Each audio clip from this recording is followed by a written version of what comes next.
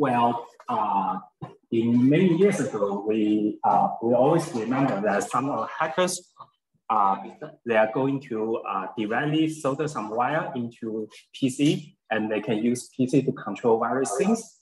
But nowadays, uh, PC, uh, all the personal computers are with high, very high speed interface, something like PCI or USB, and you cannot directly attach a cable into your computer now. So uh, because uh, what, what I'm working on is something like uh, uh, software-defined radio or uh, very high-speed data transmission or data processing, uh, uh, making something like uh, FPGA coprocessor to accelerate the data processing that is much faster than CPU.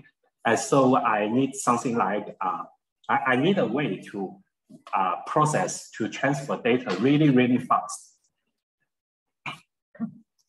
Uh, so now I'm walking into this topic. I, I try to uh, use uh, uh, PCI Express bus to uh, to directly access the main memory and transfer data really fast. And here is a brief introduction. So for uh, I just explained the PCI Express uh, in a quick and fast way. So uh, let, let make sure everyone understand this. Well, uh, PCI Express is a serial link, so it cannot uh, as it, it, cannot be directly uh, converted into I/O. It, it, it's not like a parallel bus. It's not like a printer port or serial port. It it's high-speed serial, so you need some kind of uh, very complicated uh, thing. But but that's not important. We can buy it or you use a converter. So uh, so the first the first thing we know is PCI Express is uh, it, it, it is uh, something mysterious and uh, uh, very uh, high speed uh, data link. And it can go, nowadays we have PCI 5 version. So it can goes, it, it goes to uh, 60, 64 gigabytes per second. That's, that's blazing fast. And uh, for, for the slot, the mysterious uh, slot that is seems fragile, uh, all the high-speed data flows into it.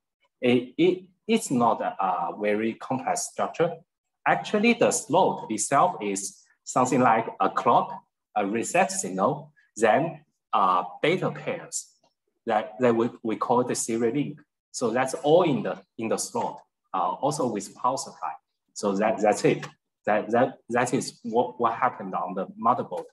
And uh, why we use uh, PCI Express, not Ethernet or USB, is because the, the latency of Ethernet or USB are 100 or 1,000 times higher than PCI Express. Be because PCI Express is directly connected to CPU. As this, as this one. Well, logically, you can think that the PCI is directly soldering all the uh, primary DDR memory, main memory, directly solder all the pins out. Logically, it's, it's like you directly tapped into the main memory. So the latency is low and it doesn't require CPU in the uh, CPU uh, process. It, it, it doesn't require, uh, require CPU to uh, interact with data transfer. Actually, you, you can think the CPU, the PCI Express core in the CPU is some kind of uh, switching. It's a, something like an Ethernet switch. You, you can think it's a switch. So when you write, when you're trying to, let's say, you, the Ethernet card is uh, running like uh, CPU, uh, we don't need CPU to receive the Ethernet packet. The Ethernet card can directly write uh, receive the packets to uh, memory, RAM, directly write it uh, through PCIe bus without the CPU's knowledge. So uh, the, the so, so that's why the uh, PCI Express is the best way to do uh, data transmission or uh, uh, to make a co-processing because you, you can think that is uh, your card, your PCI Express device is another CPU and it can access the main memory or other cards when it, remember the PCI Express, it's a memory. it's a memory bus. It's not something like uh, I send a packet to CPU and the CPU goes into interrupt and grabbing data out. Not, not like this. The actually CPU doesn't know what, what you are doing on PCI Express. Well, for the data processing, you can directly read all the data out of main memory, then process it in your card and write the result directly into the memory without CPU's knowledge. So CPU just uh, live there and check whether you have uh, processed all the data or you, or you can directly make a link. You, you can use PCI Express to connect two PC together, directly transfer a MEM con RAM contents from one PC to another. Well, that, that's very practical and it's 10 times lower latency than uh, Ethernet because there's no uh, IP protocol stack or something like that. it's not secure actually because anyone can install an PCI Express card on your computer. That means it has total access, they have total access to your computer. So game cheaters now, they use PCI Express to do cheating because the, uh, the hardware uh, hardware, hardware cheat can, uh, can directly read the me memory contents. So uh, without uh, CPU cannot detect this. Yes, that, that's the perfect way to do game cheating. also, you even can write uh, the, the uh, can change your uh, mouse position directly to enemy's head. Yes, CPU doesn't know, it, it, it knows nothing about this. It, it's undetectable. Well, I, I mentioned this uh, just now. Well, uh, for let's say the, the what is DMA? DMA is something like you can uh, you can use the main memory as you wish and without CPU's uh, without CPU's uh, uh, knowledge. So you, you can directly read or write uh, main memory. That, that makes, uh, that's a huge advantage to USB because USB, when you transfer a uh, data block, something like 4K bytes, you need an interrupter or CPU need to grab the, the data block out to process it.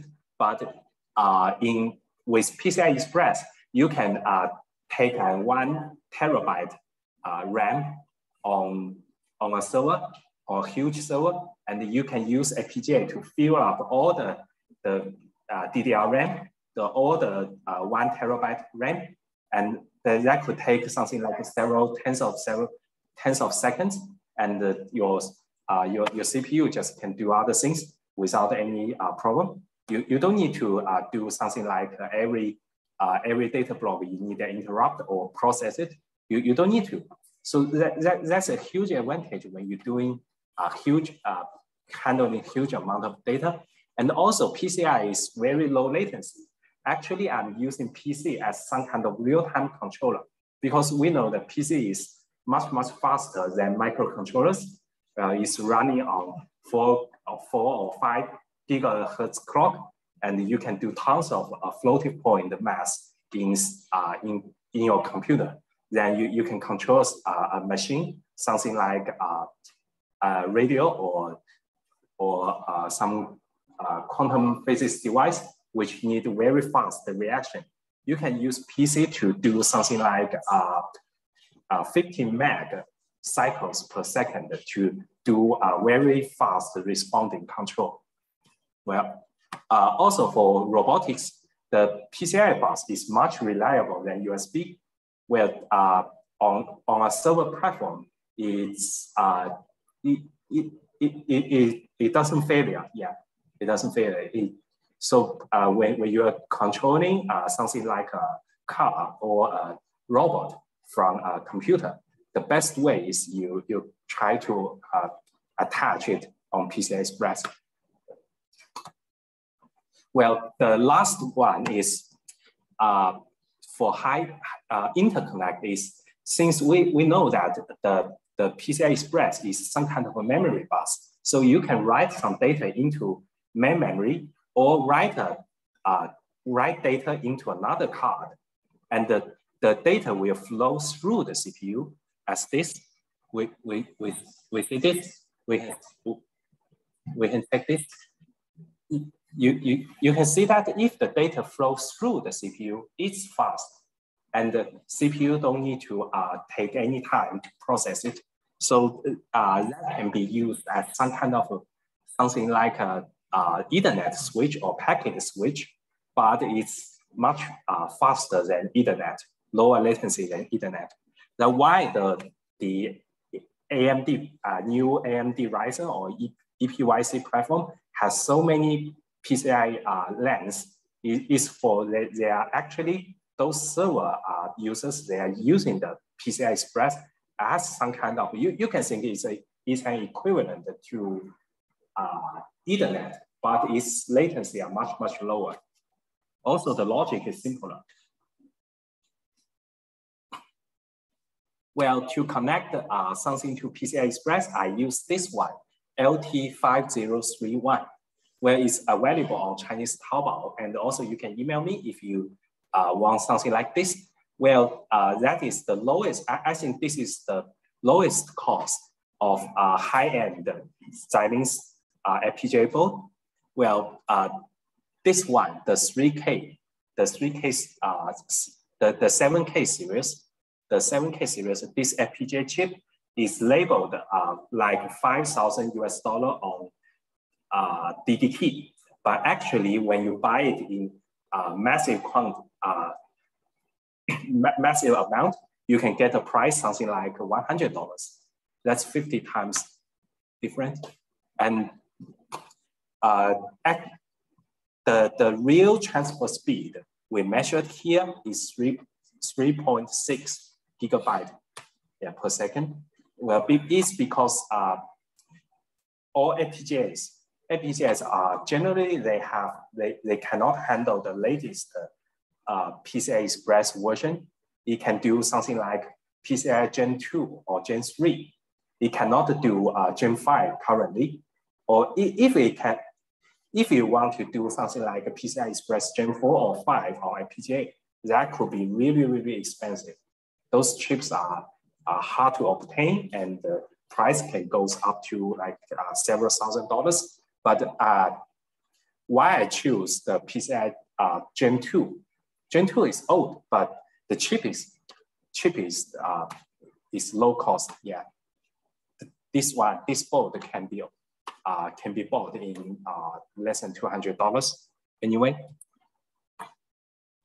So PCI Gen 2, does that work on? Yeah, yeah. Cannot, this one cannot do Gen 4 or 5 because the internal digital circuits in the FPGA are not fast enough. Well, but is the motherboard compatible backwards? Yes, okay. uh, all PCI Express are back uh, are backward compatible. So you can attach something like Gen 1 to your latest uh, very expensive gaming rig. What does that mean? Because like, you, have all these two components and that they can DMA with each other. So if you have one component that is slower, much slower than yeah. how does that affect the rest of the system? Well, uh, because physically PCI Express is point-to-point -point link. It's just like Ethernet. So the actually the fastest component in your system is the CPU. So uh, CPU won't be the bottleneck unless you use a very old CPU. And uh, a single device are very slow, doesn't affect the total system performance. Yeah, you, you can attach something like 20 cards from Gen 1 to Gen 5 and uh, uh, on a Gen 5 server, and the server will run in Gen 5 speed. Yes, because it's packet based. Not uh, physically, it's packet based. So it's just like Ethernet. The very slow device doesn't affect the fast one. Yeah. Well, uh, how uh, how the PCI bus, uh, PCI Express transfer the data data it, it's uh, they it, it use TLP packets, uh, transaction transaction layer packet, and uh, uh, it you, you can think this one is like UDP, but, but it's much simpler than Ethernet. It can only do write. Well, if you want, want to write main memory, something like uh, change some uh, data in your game, you just directly send the TLP packet to your computer and they, it, it will change uh, the data in main memory. That's it. Uh, it. It doesn't require something like acknowledgement. You just directly send the write request. Well, for reading, you need to send the read request and uh, just uh, several nanoseconds after, you get a reply, the read reply with data. Well, also PCI Express can do interrupts. It's just like eh, interrupts in microcontrollers. It can interrupt the system kernel, and you the, that that that could be that could be very low latency. And nowadays, nowadays modern CPUs they, they don't use wires, pins to do interrupts. Actually, they use message. It's something like when you uh, want to interrupt the CPU, you send a packet into PCI Express, or you uh, internally, it's a packet in the CPU. And, and the CPU will receive the packet, uh, see it as an event. Uh, a packet is an event. So uh, when, when the CPU got this packet, it, it, it knows that okay, this is an interrupt that happened. Uh, we can process it later, yeah.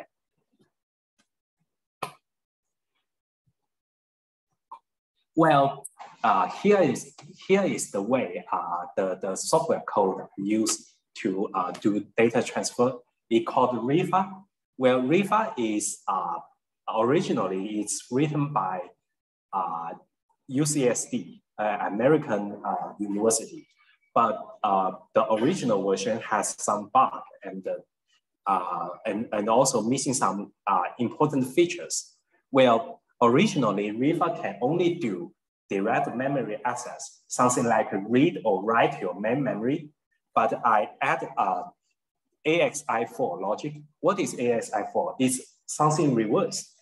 It's CPU accessing the PCI Express device DMA is device accessing main memory, but it, it can be reversed. You, you can use CPU to access uh, registers in your uh, FPGA card that, that can enable something like uh, CAN bus or various uh, user-defined logic. So I add an, an AXI4, which basically is registers. So uh, with this modification, you can uh, the CPU can, uh, can change settings in the card or uh, change register values in the card. And also I add uh, IRQ functions. Inter uh, so the FPGA can send interrupts to CPU. Well, here's some demonstrations about the latency. Uh, this is how the, the, the FPGA card attached on on uh, my testing computer and uh, the left laptop, the laptop on the left, this one is attached to a logic analyzer. Well, because I, I need to do some low level debugging. Well, for PCI Express, uh, it's hard to debug actually. So writing the, uh, modifying the, the software took me a uh, very long time. And, but, but now it's working, now, now it's uh, working perfectly. And it also requires some kind of special tools if you want to do something like a, a very low level physical layer debugging because the data length is really fast. And uh, even you have a high-end oscilloscope, even you have a, a, oscilloscope with tens of gigahertz bandwidth, you cannot uh, you cannot record in, in, enough uh, time for finding the failure something like if it fails once a day, you need a huge amount of memory to record it. So I got this. I got this one, the Keysight logic analyzer, dedicated for PCI Express. Yeah. well, new one is uh, something like uh, $150,000. but, but, but I, I, I managed to connect this thing from eBay garbage and uh, uh, after I connected uh, something like, I collect uh, something like uh, tens of components, I put them all together and now it's working. Well, it is for very difficult low level uh, bugs. Something like if, if it, it fails in the uh, very bottom layer, cannot be uh, analyzed by uh, FPGA debugging tools, I need this thing, yeah. Well, also uh, setting this thing up is yeah, time consuming and you need another computer to handle it. So I, I need something like uh, three computers. Well, one for compiling the firmware for FPGA and uh, another for running Linux and testing the PCI Express card. And also the third one is for running the logic analyzer. Uh, also, the logic analyzer itself is PCI Express. The green cable you see, it's, it's attached to PCI Express on a, a desktop computer. It, it, this is uh, how the, the, the uh, logic analyzer, the, the logic analyzer looks like. Uh, basically, it's the packet running through the PCI Express lane uh, with, with the debugging tool by Keysight. You can see all, all this happening. Well, uh, normally in 99% of my working time, I don't need this thing. I don't need it. But if I run into some corner cases, is something like uh, someone reported a bug, uh, send an issue to me, I need to debug it with this thing.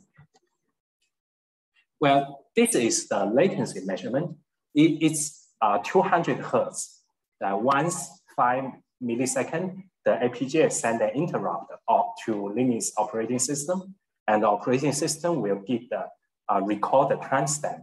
So with uh, the timestamp stamp values, I can check the uh, control latency of the PCI interrupts. Well, uh, we, uh, the test rig is something like uh, i3 with all CPUs cores running into 100%. Uh, how I reach 100% is by using 7-zip I do a, a 70 benchmark and the saturated CPU, and then I measure the latency. Well, th this is actually very impressive. It's something like uh, the nominal value of the uh, interval should be five milliseconds, but the, the actual measured value is uh, minus one or positive one millisecond. So uh, basically that, that means uh, the CPU can uh, answer the interrupt uh, in less than one millisecond are guaranteed. Well, even with CPU, all the CPU cores are saturated. Well, that, that, that means if you control a robot uh, in something like 200 hertz, that could be very stable. Well, if I lower the CPU usage uh, to 70%, the latency will go down to positive or minus uh, 100 microsecond. Yeah. 10, 10 times lower than, uh, than saturated CPU.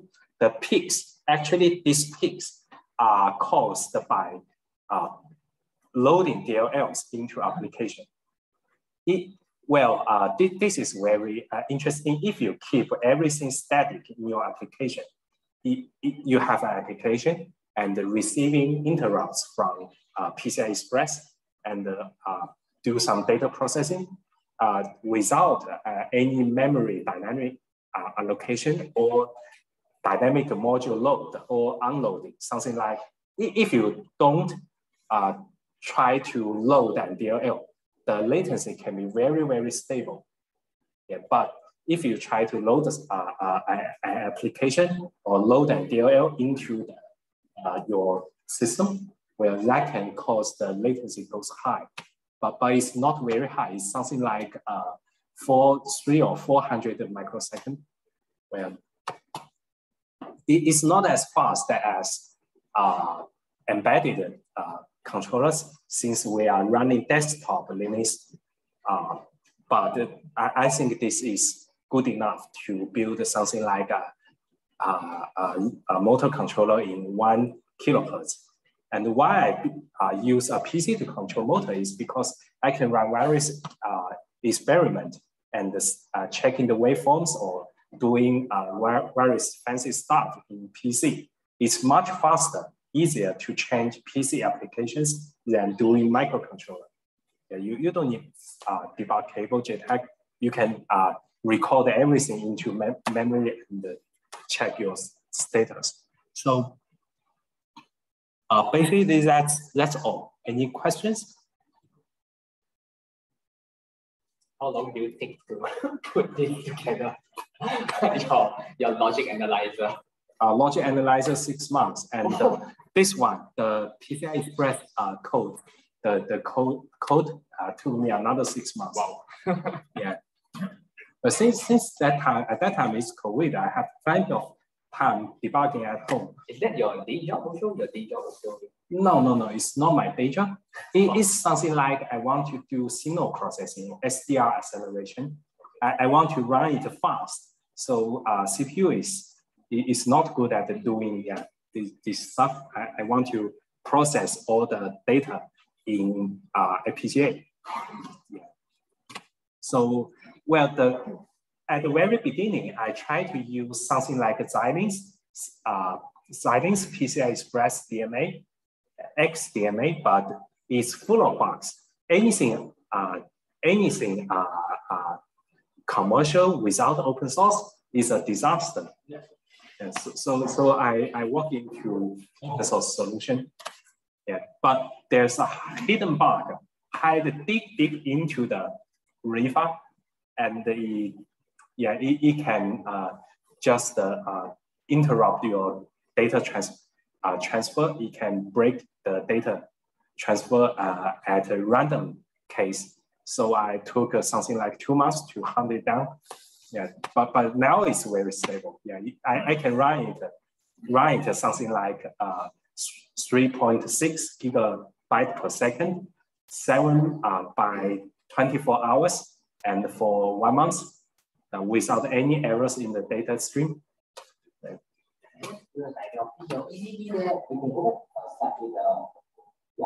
the. The. This, yeah, so you have an interface cut between that, that PCB port and the PCI Express on the computer. You one more, is it a bridge PCB? You, you mean the, yeah, the, the, the green one? It, it's not a part of the logic analyzer. Oh. It, the, that one is called the PCI interposer. It, it, we use it to, uh, to amplify the very weak and high speed signal and pick up by the logic analyzer. Uh, if I don't need to use the logic analyzer, I can remove the bottom part, directly plug the, the FPGA board into the computer. Well, this one uh, just have some uh, minor issues. It's not a standard PCI card form. It's because I draw the PCB uh, designed really, really fast and I forget to uh, check the outline of the standard the PCI card. So I, I, I leave it there. Yeah, but uh, maybe several months later, I will try to uh, reform it. I will try to change it to uh, a standard PCI card so I can sell it. yeah. But this one is really good for uh, doing uh, development, uh, FPGA development, and uh, well, well because uh, the because this card have uh, it has already used up all uh, transceivers, high speed transceivers, so I cannot attach something like a, a 10 gig Ethernet to it. it if you have a, a better FPGA, you can try to do something like a real-time Redis on FPGA. Yeah,